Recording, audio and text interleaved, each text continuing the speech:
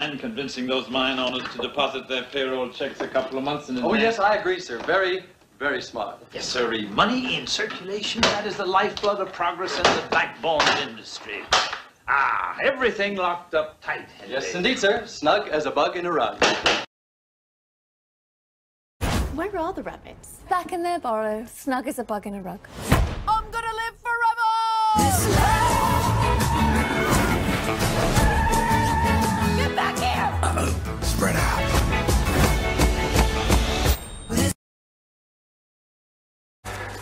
You kids sure are good.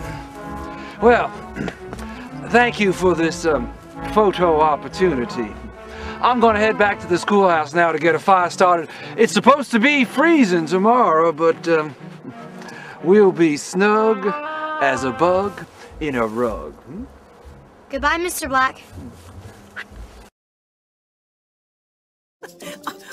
There you are, snug as a bug in a rug. That's what I'll call you, Bugs. I'm Nana.